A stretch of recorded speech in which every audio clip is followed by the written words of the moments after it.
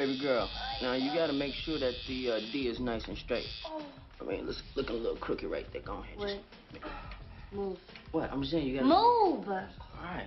Look here. Hurry up. I gotta get back to the shop. You know? Still on the clock. Hey, sweetie, I told you my sister was a pro, right? Uh-huh. She's gonna take care of you. Mm. mm. mm. Baby, Hmm? you're gonna put my name on yours too, right? What? What? Uh, yeah.